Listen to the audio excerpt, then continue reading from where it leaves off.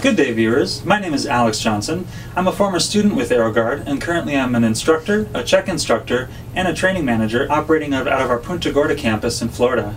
I'm here today to talk to you about why vision is important in flight, specifically relating to the uh, illusions that can be experienced and how we can mitigate some of those illusions.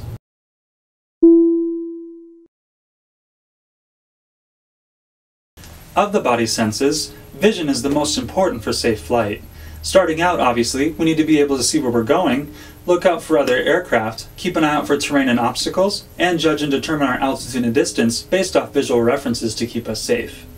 According to Regulation uh, 14 CFR 91113 Bravo, despite who you're in radar contact or communication with, and when weather permissions permit, weather conditions permit, it is the pilot's responsibility and the duty of each person operating the aircraft to always see and avoid oncoming traffic.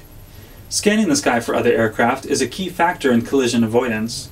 Pilots must develop an effective scanning technique which maximizes one's visual capabilities.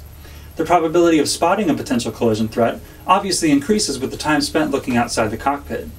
Thus, one must use time-sharing techniques to effectively scan the airspace while monitoring their instruments as well.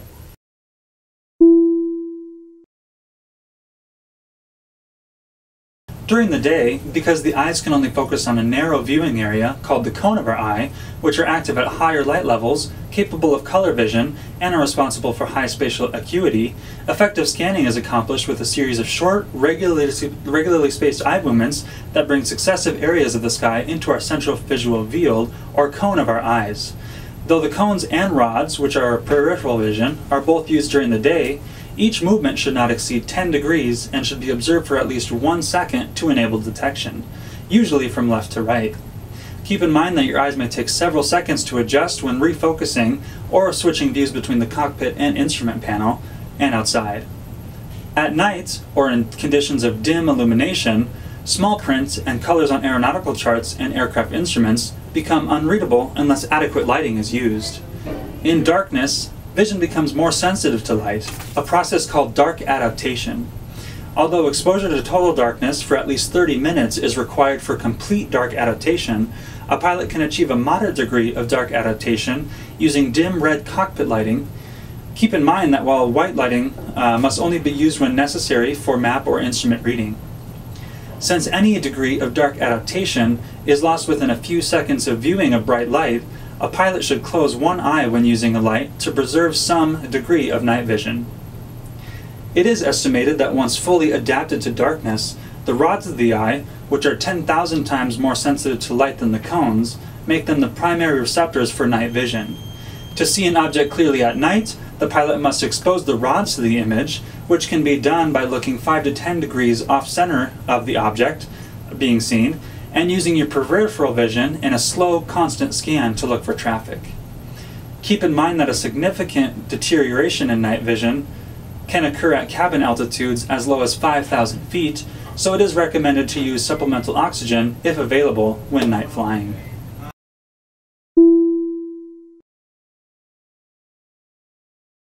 Now we'll talk about the effects of altitude on our vision.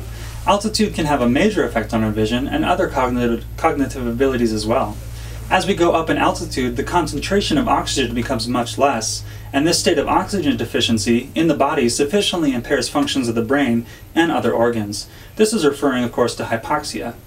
Though significant effects usually do not occur in normal healthy pilot below 12,000 feet, from 12,000 to 15,000 feet of altitude, judgment, memory, alertness, coordination, and the ability to make calculations are impaired, and headache, drowsiness, dizziness, and a sense of well-being known as a euphoria or belligerence occur.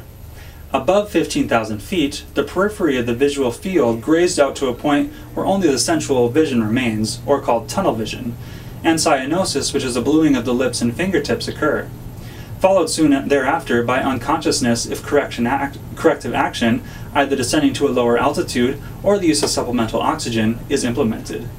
There are also an, there's also an assessment for, that we can use as pilots to ensure we're all fit to fly, to be confident that we are not only physically and mentally safe to fly, but that there's nothing contributing to the impairment of our bodies and our vision.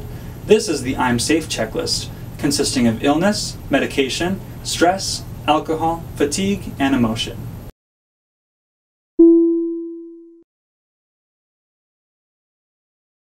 Even a minor illness suffered in day to day living can seriously degrade performance of many piloting tasks vital to safe flight. Illness can produce fever and distracting symptoms that can impair our cogn cognitive abilities. The safest rule is not to fly when suffering from any illness, and to co contact an AME if you have any questions. Pilot performance can be seriously degraded by both prescribed and over-the-counter medications, as well as by medical conditions from which they're taken, for which they're taken.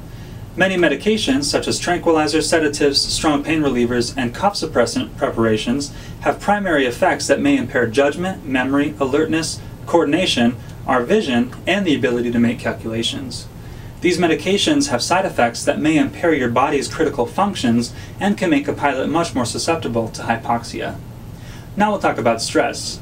Stress from the pressures of everyday living can impair pilot performance, often in very subtle ways. Difficulties, particularly at work, can occupy the thought process enough to markedly decrease alertness. In regards to alcohol, extensive research has been provided has provided several facts about the hazards of alcohol consum consumption and flying. As little as one ounce of liquor, one bottle of beer, or four ounces of wine can impair flying skills and affect your vision. Prolonged alcohol use can cause involuntary rapid eye movement and slow down the communication between the eyes and the brain. This can cause double vision, decrease reaction time of the pupils, and impair the ability to see color shade. Alcohol also renders a pilot much more susceptible to disorientation and hypoxia. Now we'll go on to fatigue. Fatigue continues to be one of the most treacherous hazards to flight safety, as it may not be apparent until serious errors are made to the pilot. Blurring, intolerance to light, headaches from reading, those are just a few of the problems uh, with vision that can come with fatigue. Finally, with emotion, certain tragic or upsetting events can render a pilot unable to fly the aircraft safely. The emotions of anger, depression, and anxiety from such events not only decrease alertness, but may also lead uh, to taking risks that border on self-destruction. It has been studied that our emotions affect the function of our eyes, particularly our pupils, and our vision may be impaired. Any pilot who experiences an emotionally upsetting event should not fly until satisfactorily recovered from that unsettling experience. Thank you so much for watching today, and I'm glad you took the time to enjoy this video. Please check out our other videos, and like and subscribe. Thanks for watching.